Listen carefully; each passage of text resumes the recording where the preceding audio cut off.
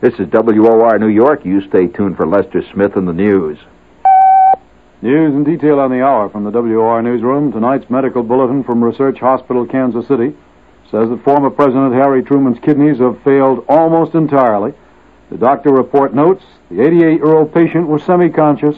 His very serious condition worsened during the day as impurities began to build up in his blood.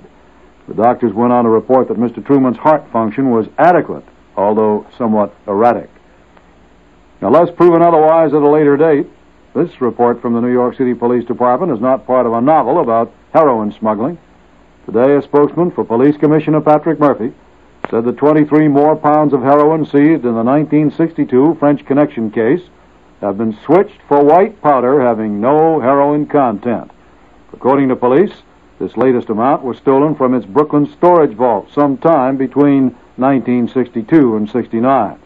And just like yesterday's report about 57 pounds of heroin, taken from the department's Manhattan evidence storage area. The same name was signed by a man using the signature Joseph Nunziata.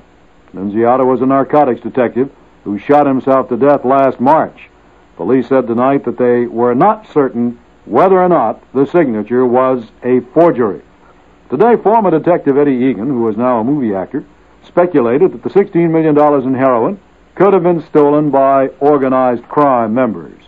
Egan then said that the last time he saw the heroin was in 1963, when it was used as evidence at the trial of smuggling suspects.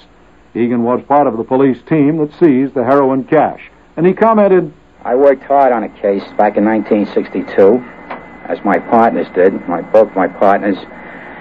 Uh, when I say partners, I mean the Federal Bureau of Narcotics, and I mean the New York City Police Department and their superiors. We worked very, very hard on that case. It took four months to bring it to an end. Night and day, day and night. With more frustrations than anybody should experience in five lifetimes. To find out what happened yesterday is shocking. I can best illustrate it in my own recollections of being a police officer. If you kill a cop, there's an all-out manhunt for the cop killer.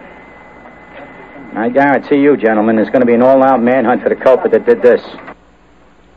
It took a Manhattan federal court jury just three hours of deliberations today to reach a guilty verdict for narcotic smuggling conspiracy suspect Auguste Joseph Ricord. Ricord is a 62-year-old Argentine national who has his homes in Buenos Aires and Asuncion, Paraguay. He was convicted of conspiring to smuggle 94 pounds of the drug into the United States from Paraguay in 1970. Sentencing has been scheduled for next month. Ricord could get from 5 to 20 years. A federal court judge has fined three bakeries $50,000 each for conspiring to fix bread prices in the metropolitan area from 1966 to 1969. American Bakers, ITT Continental Baking, and General Host Corporation got the big fines. Ward's Foods was fined $25,000 because of its cooperation with the government.